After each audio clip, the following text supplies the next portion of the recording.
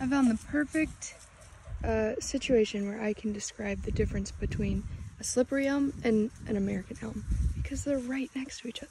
So let me show you. If you've ever wondered about this distinction, you've probably heard of the bark trick, which is to pull off a piece of bark and then look at the color and basically on an American elm, when you take off a piece, it will have a brown layer and a cream colored layer and then a brown layer and kind of have that Oreo pattern. Whereas on the slippery elm, it would just be a dark brown.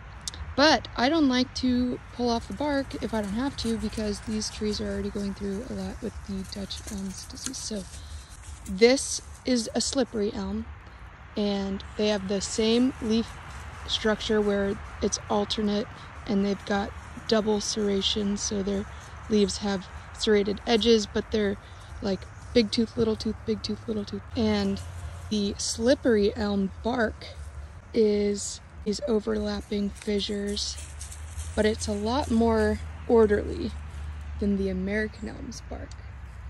See, the American elm has more patchy, um, I call it almost like bubbles overlapping each other, all these oval shapes like a collage.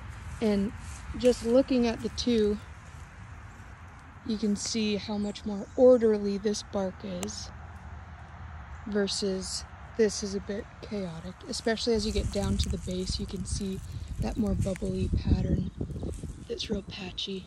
So it's not in those straight lines so much like, uh, like the slippery elm.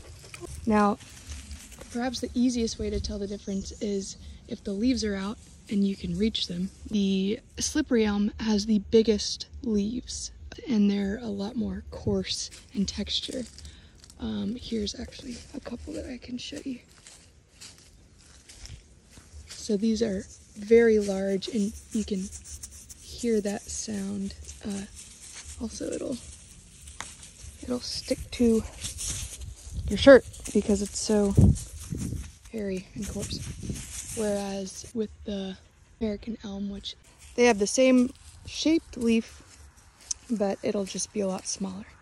And in the wintertime, a way you can tell the difference is by looking at the ground and the slippery elm's leaves actually uh, stay pretty well preserved and turn this chocolate brown color. And um, the American elm leaf will not stay as well preserved. And it'll be a lighter color than this dark, dark brown. And my favorite way to tell the difference is once the leaves are out and you have that option to look at the backside. And slippery elms will be forked on their veins a lot, like you're seeing here. Whereas with an elm, an American elm, sorry, let's look at these babies and I'll show you. They rarely fork on the backside. So we've got this fork here and that fork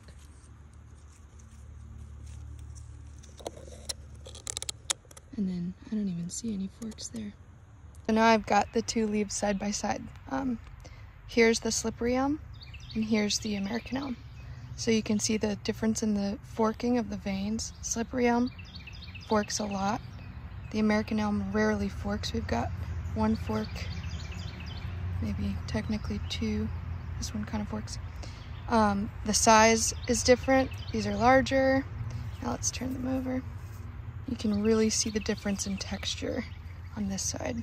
So this, you can hear how hairy it is and kind of tacky that way.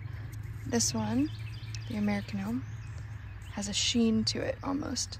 So the texture is a really good indicator of the difference between these two species. Slippery elm, American elm.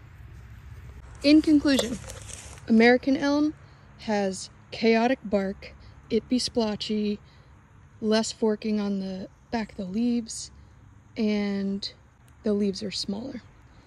The slippery elm has more orderly bark.